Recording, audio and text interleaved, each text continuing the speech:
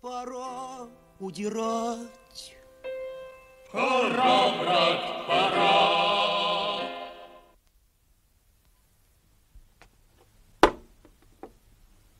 Вы не так коня поставите, товарищ гроссмейстер. Конь так не ходит.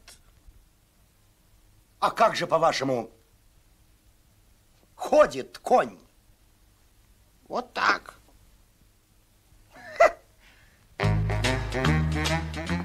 Течение ближайших семи минут гроссмейстер проиграл еще 10 партий.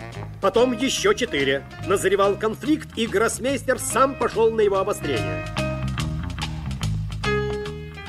На 11 минуте сеанса одновременной игры с доски одноглазого любителя исчезла ладья. Только что на этом месте у меня стояла ладья, а теперь ее нет. Нет, значит, не было. Как не было, была.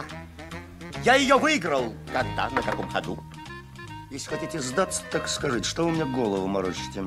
Еще через полторы минуты одноглазый любитель сказал свою последнюю фразу. Позвольте, товарищи, у меня все ходы записаны. На что гроссмейстер ответил меткой фразой.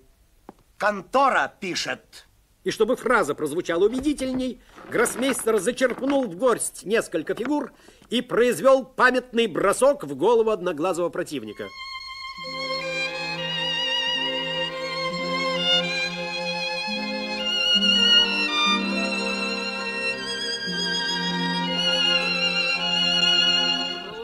Что же,